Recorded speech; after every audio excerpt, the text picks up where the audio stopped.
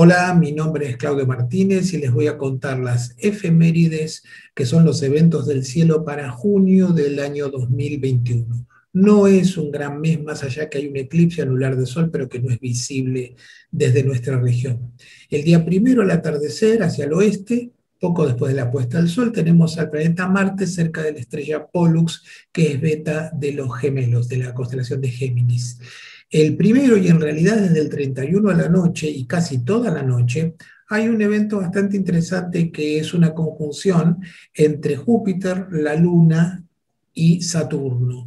Aproximadamente, como lo ven acá en la imagen, eh, la distancia entre la Luna y Júpiter es alrededor de 5 grados, el tamaño de la cruz, un poquito menos la cruz del sur, y entre la Luna y Saturno unos 12 grados. Esto se va a mantener durante toda la noche. El día 7 por la madrugada, Urano está muy cerca de la Luna. Recuerden que Urano no se ve sin ayuda de un telescopio o binoculares, así que hay que tenerlo en cuenta, pero es interesante porque se puede llegar a utilizar con algún programa como el Stellarium, ver dónde está porque es fácil confundirlo con otras estrellas de brillo similar al planeta.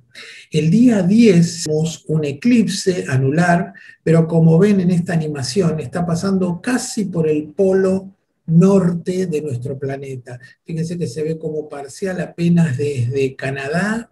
Ahí va a empezar de nuevo la animación.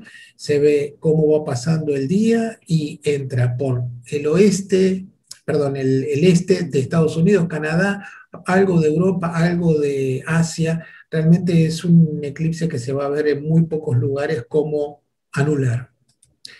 El día 11 tenemos a Mercurio en conjunción inferior, o sea que la noticia de Mercurio es que no se ve, porque cuando está en conjunción inferior está entre la Tierra y el Sol, así que no es visible. El día 12 al atardecer, poco después de la puesta del Sol, hacia el oeste tenemos una conjunción entre Venus, la Luna y Pollux, que es bastante abierta y no es extremadamente interesante porque está muy baja. Pero sí el día 13 se da una conjunción, porque la luna al irse moviendo al día siguiente se mueve aproximadamente 13 grados de un día a otro. Tenemos el planeta Venus, la luna creciente, apenas creciente, la estrella Pollux y por encima el planeta Marte. Son unos cuantos objetos eh, bastante brillantes en la misma región del cielo, pero tengan en cuenta que hay que mirar bien cerca del horizonte oeste.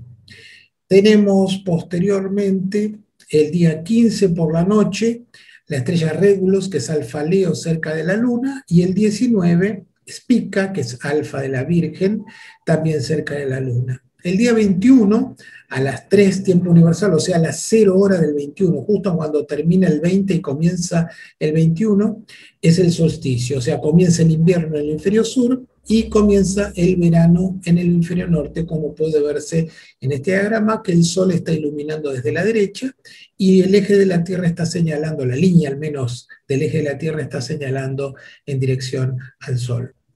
Tenemos después algunas conjunciones más que no son, como les decía, muy relevantes. El 23 tenemos una conjunción entre Antares y la Luna que es muy abierta. El 27 a la madrugada Saturno cerca de la Luna y el 20 28 de la madrugada también Júpiter cerca de la Luna. Bueno, si hacen alguna observación o fotografía, nos interesa que nos la envíen a info.astroturismo.com.ar. Si les interesó, si les interesó el, el video, marquen like y nos veremos el próximo mes con las efemérides correspondientes. Hasta luego.